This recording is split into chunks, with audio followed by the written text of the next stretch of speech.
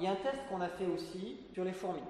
Ça, c'est une étude qui a été faite par euh, Marie-Claire Kamaertz à l'Université libre de Bruxelles 2012 de mémoire, où en fait, c'est une spécialiste des fourmis.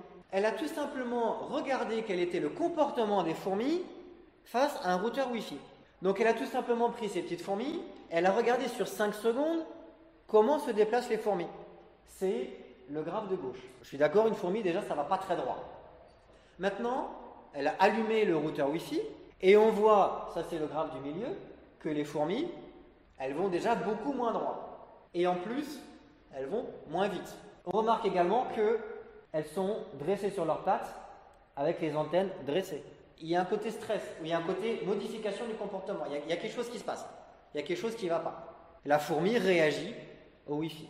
Et quand on a mis donc un CMO à côté, on revient à un comportement normal de la fourmi.